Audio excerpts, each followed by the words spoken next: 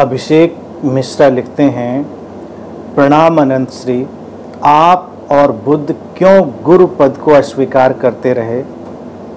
क्या लाओत्से के कहे दूसरे और तीसरे श्रेणी के लोगों के कारण, जो क्रमशः आंशिक व पूर्ण मूड हैं?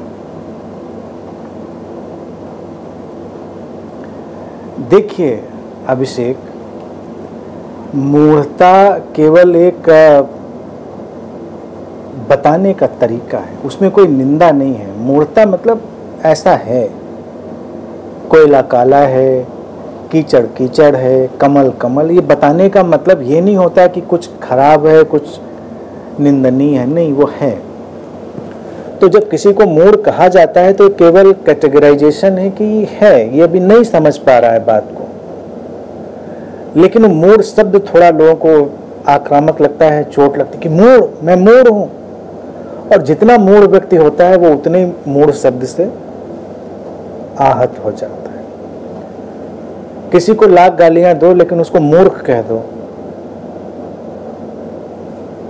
देखो, कितना उछलता है, कितनी उसको तकलीफ़ होती है, क्योंकि मूर्ख नहीं मानने के लिए आदमी तैयार है। दुनिया में मूर्ख से मूर्ख व्यक्ति अपने को मूर्ख मानने के लिए तैयार नहीं हो सकता।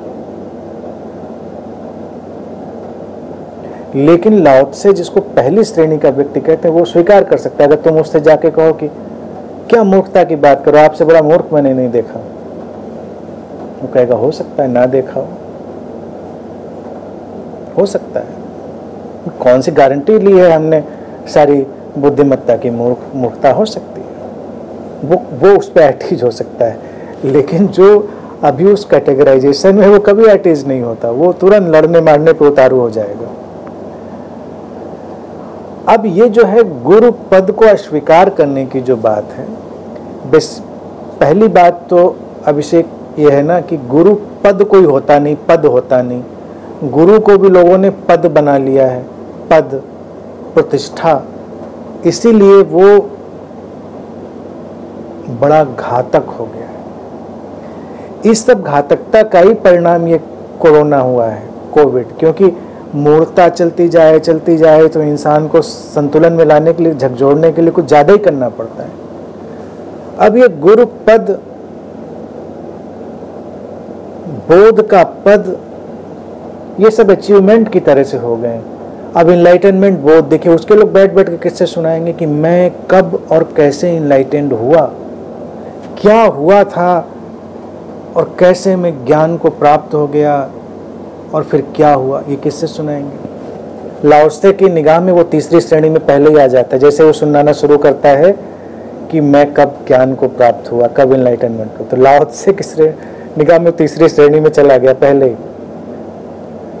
तो पद जैसी तो कोई चीज़ है नहीं। लेकिन हमने पद बनाया हुआ है, इसीलिए पद ट्रांसफ़र किए जाते हैं। सर्टिफिकेट दिए जाते हैं, गद्दियाँ होती हैं, भाई इस गद्दी पे अब गुरु की गद्दी पे कौन बैठेगा? तमाम तो कल्ट्स में वोटिंग होती है।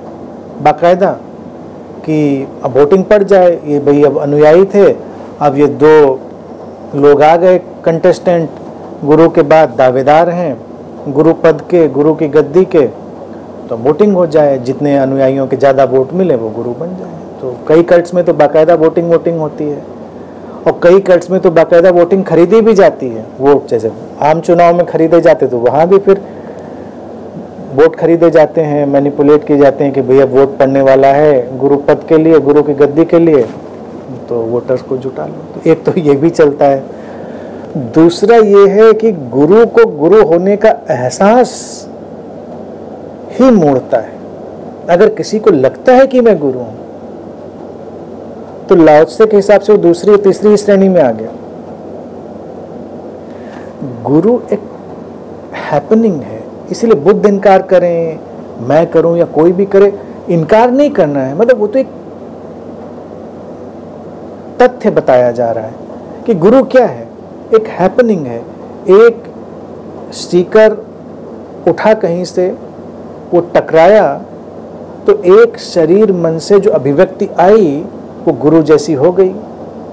सीकर हटा, गुरु विदा हो गया। कॉम्बिनेशन है। ये कॉम्बिनेशन है। जब सीकर हुआ, गुरु की हैपनिंग हुई, सीकर हटा, गुरु डिसपियर गुरु को फिर गुरु होने का कुछ पता नहीं। उसको कोई उसका एहसास नहीं। तो इसीलिए इनकार किया जाता है। वो कहते हैं, भाई, मैं गुरु नहीं हूँ।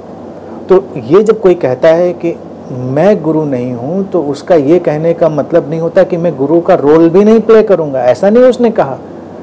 उसने कहा कि ऐसा नहीं है कि कोई गुरु ऐसी एंटिटी है जो ऑल द टाइम गुरु बन के बैठी हुई है।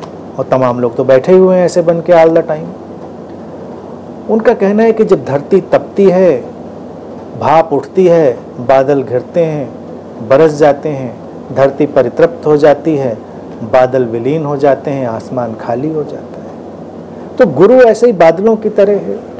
जब कहीं किसी के अंतर मन की ज़मीन तपती है, वहाँ से एक भाप उठती है, जिज्ञासा की, मुमुक्षा की, एक बादल अस्तित्व निर्मित कर देता है, वो बरस जाता है, कोई परितृप्ति पैदा होती है, बादल विलीन हो जाता है। दैट्स ऑल तो गुरु कहाँ है? वो तो एक हैपनिंग की तरह तो बुद्ध ने भी यही कहा, जो भी जागा उसने यही कहा कि वो हैपनिंग है, वो ऐसा गुरु नहीं है कि किसी पद पे बैठ गया है कि हाँ मैं गुरु हूँ, आओ मैं तुम्हारा कल्याण करूँगा। जहाँ उसने ये कहा कि हाँ मैं गुरु हूँ, आओ मैं तुम्हारा कल्याण करूँगा, आओ मैं तुम्हें ज्ञान दूँगा, मैं तुम्हें अवेकनिंग दूँगा।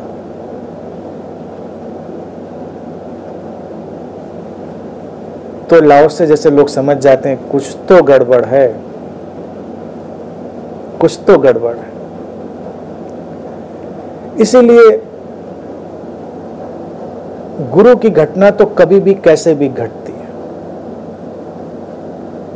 जमीनें तपती रहेंगी अंतर्मनों की और बादल बनते रहेंगे। इतना ही होगा।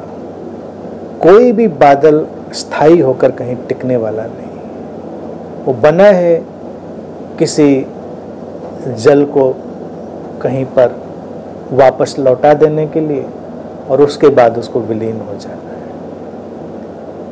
तो लोगों के कारण वो इनकार नहीं करते।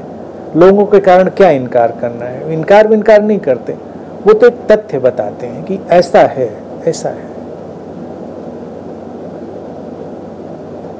समझ रहे